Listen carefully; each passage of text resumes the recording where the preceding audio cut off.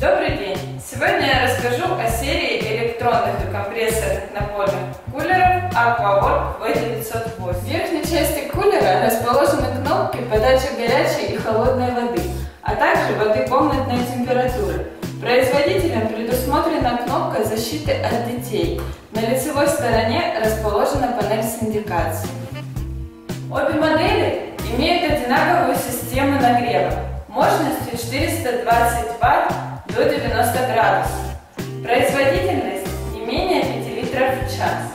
Различие заключается в системе охлаждения. Температура охлаждения у электронной модели до 15 градусов, в то время как у компрессорной до 10 градусов.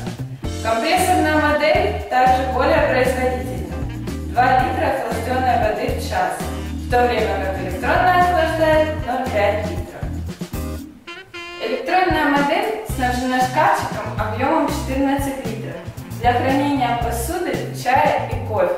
В компрессорную модель встроен эргономичный холодильник объемом 6,5 литров для хранения продуктов.